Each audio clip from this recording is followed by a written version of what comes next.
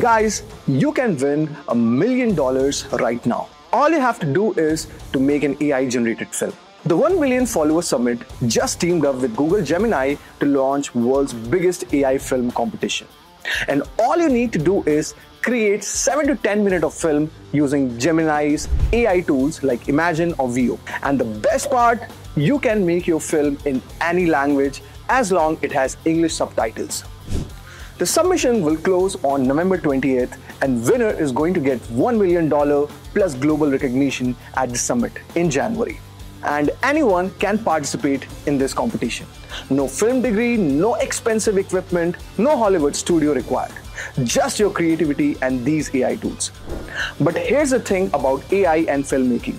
While AI can help us work faster and visualize ideas differently, cinema will always need the human touch.